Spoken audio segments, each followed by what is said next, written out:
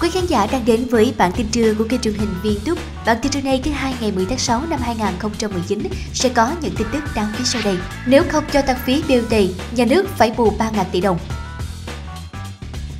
Xét đánh bị thương hai trẻ khi đang ngủ.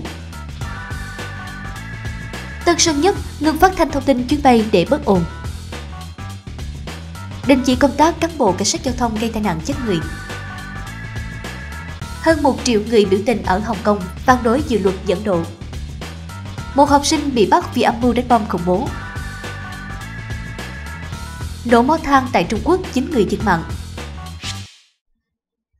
Mới đây, tờ báo Tuổi Trẻ đưa ra thông tin cho biết nhà nước sẽ phải bù 3.000 tỷ đồng nếu không cho tăng phí. Các cơ quan quản lý nhà nước đang có nguy cơ mắc kẹt trước một giải pháp tối ưu cho việc tăng phí BOT. Theo đó, sức ép tăng phí BOT ngày càng lớn, số lượng dự án đến hạn tăng phí ngày càng tăng.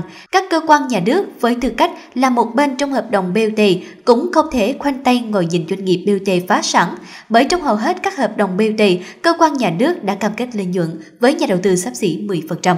Như vậy, nếu dự án BOT thua lỗ, các nhà đầu tư tư nhân vẫn còn phao cứu sinh với phần lợi nhuận cam kết từ phía nhà nước.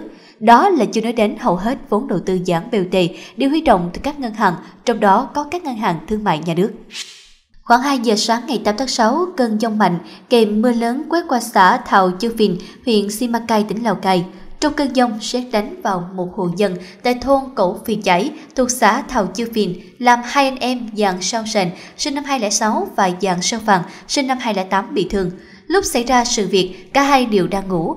Hai em hiện đang phải chữa bỏng tại bệnh viện đa khoa tỉnh Lào Cai. Theo các chuyên gia, để phòng tránh bị sát đánh, ngay cả khi đang ở trong nhà, người dân cần lưu ý không bật tivi, nghe điện thoại, nên đóng các cửa sổ và cửa ra vào. Cảng hàng không quốc tế Tân Sơn Nhất Thành phố Hồ Chí Minh từ ngày 1 tháng 7 ngừng phát thanh bằng micro loa tại nhà ga quốc tế T2. Các mẫu phát thanh tự động tại nhà ga quốc tế cũng bị hủy, chỉ còn phát thanh gate train thông báo thay đổi cửa khởi hành. Tất cả thông tin trạng thái được cập nhật liên tục trên hệ thống màn hình FIS và đến tháng 10 sẽ áp dụng tại nhà ga Quốc hội T1. Động thái này được sân bay đưa ra nhằm hạn chế tiếng ồn, nâng cao chất lượng phục vụ hành khách trong điều kiện hạ tầng đang quá tải. Tân Sơn Nhất là sân bay đầu tiên ở Việt Nam thực hiện việc ngừng phát thanh thông tin. Sáng ngày 10 tháng 6, lãnh đạo Công an tỉnh Bình Dương đã ký quyết định đình chỉ công tác đối với cán bộ thuộc phòng cảnh sát giao thông lái chiếc ô tô biển xanh gây tai nạn khiến một người bán hoa quả tử vong.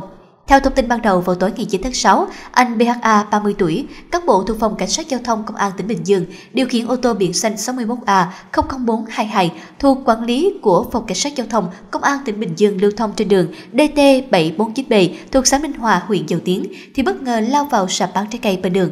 Vụ tai nạn khiến anh Nguyễn Thanh An 23 tuổi quê Đồng Nai, người bán trái cây bị thương nặng, dẫn đến tử vong. Người nhà nạn nhân cho biết anh An có vợ và con nhỏ chưa đầy một tuổi. Do hoàn cảnh khó khăn nên anh An từ Đồng Nai lên Bình Dương bán trái cây thuê thì gặp nạn. Hiện thi thể anh An đang để tại Bệnh viện Đa khoa tỉnh Bình Dương cho lo hậu sự. Hơn một triệu người ở Hồng Kông đã xuống đường biểu tình phản đối những thay đổi trong dự luật dẫn độ, cho phép nghi phạm được đưa tới xét xử tại tòa ở Trung Quốc. Với con số đó, đây là cuộc biểu tình lớn nhất kể từ năm 2003 nhằm phản đối chính sách thắt chặt an ninh của chính quyền. Những thay đổi của đạo luật nhằm đơn giản hóa thủ tục cho phép dẫn độ nghi phạm bị truy nã xét theo từng trường hợp sang Trung Quốc đại lục, thậm chí cả Macau và Đài Loan. Ngoài 20 quốc gia mà Hồng Kông đã có hiệp ước dẫn độ trước đó, những thay đổi này sẽ được bỏ phiếu thông qua thành luật vào cuối tháng 6 này.